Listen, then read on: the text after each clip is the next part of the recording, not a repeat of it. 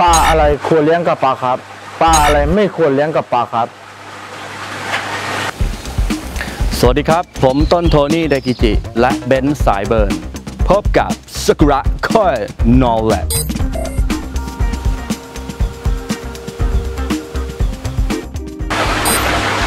เดี๋ยวครับ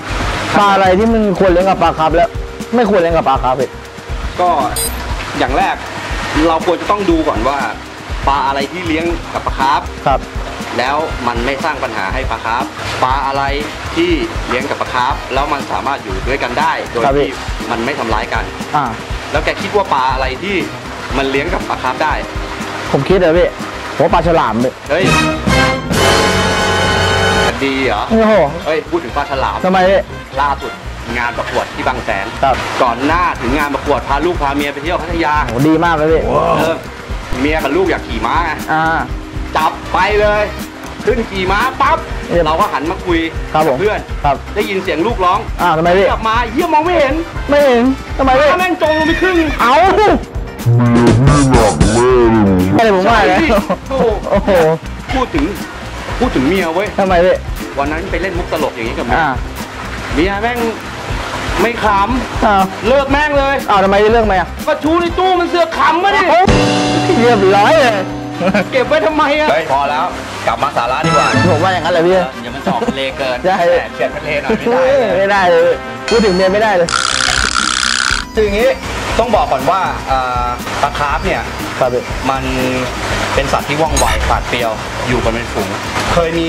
หลายคนที่พยายามเอาปลาทองนะครับอะอันนี้เราพูดถึงในในกลุ่มปลาทองปลาทองลงไปเลี้ยงปล่อยลงไป สมมติไปซื้อมาก่อนอ่า ซื้อมาแล้วปล่อยลงไป ปล่อยลงไปเสร็จปั๊บวันรุ่งขึ้นมาดูอ้าวปลาตาหายบ้างอะไรบ้าง คือบางทีปลาคาร์ฟเนี่ยมันมีความรู้สึกว่านี่คือสิ่งแปลกปลอมสำหรับเขา ครับ เขาก็ไปดูดไปว่ายไล่ต้อน แต่บางทีเนี่ยปลาทองด้วยความที่มันว่ายน้ำช้าอ่ามันมันไม่ได้ปาดเปรียวมากอย่างปลาคาร์ฟนึกออกไหมครับผมมันก็เลยอาจจะตกเป็นเป้าได้ ตัวพี่เองพูดในเรื่องของเอ่อ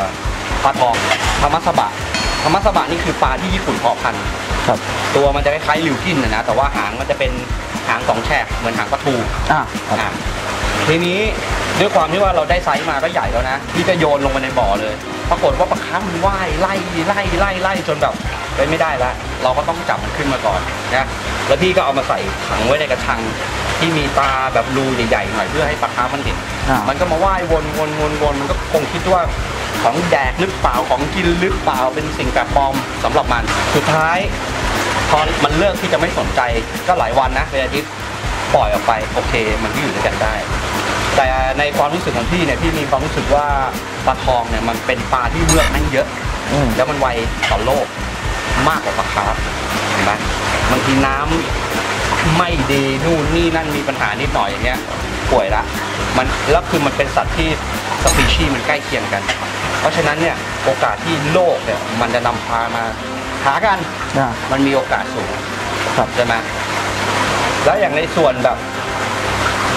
ปลาที่พี่คิดว่าไม่ควรจะนำมาเลี้ยงกับปลาคาร์ฟเลย ก็คือพวกปลากินเนื้อทั้งหลายอืมพวกปลาปิรันย่าเลยปลาปิรันย่ามันนำเข้ามาได้ไหมล่ะเพื่อปลากินเนื้อเฮ้ยปลากินเนื้อไม่มีเยอะแยะอ๋อปลากระเบนเงี้ยอ๋อนะมีคนเคยเอาปลากระเบนน่ะมาเลี้ยงรวมกับปลาคาร์ฟอ๋อถามว่าเลี้ยงได้ไหมได้ แต่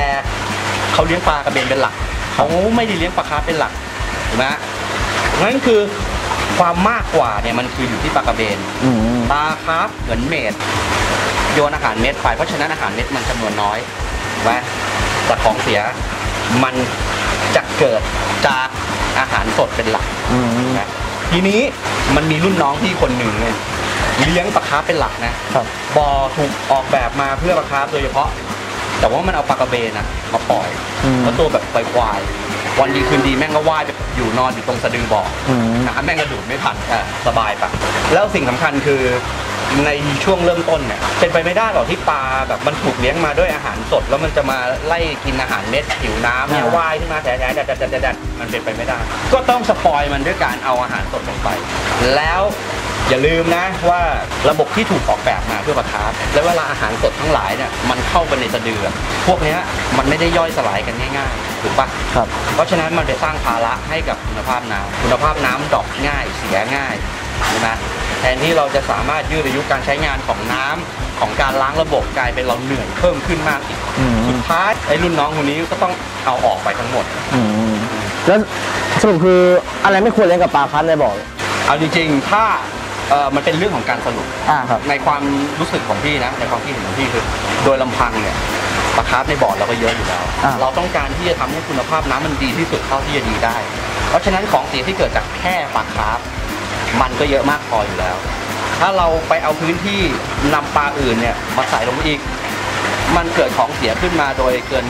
ความจำเป็น อ่า ถูกไหมซึ่งเราไม่อยากให้มันไอ้นี่อยู่แล้วอย่างเงี้ย ไม่ใส่ซะดีกว่า ไม่ต้องไปเลี้ยงซะดีกว่า แต่ ปลาที่สามารถเลี้ยงกับปลาคาร์ฟได้ที่ขอวงเล็บไว้ให้ก่อน ครับผม มันก็จะเป็นพวกปลาที่ที่ขอจำกัดความมันว่าควรจะต้องเป็นปลาที่มีความปราดเปรียวว่องไว เยอะเลยตะเพียนอืมตะเพียนทองปลาน้ำจืดอะรูปทรงประมาณอย่างนั้นอะครับ คือพูดง่ายๆว่าเอาแค่ตัวเราเดี๋ยวไปไล่จับมันยังจับไม่ได้อะอืมปุ๊ดปัดปุ๊ดปัดรวดเร็วใช่ไหม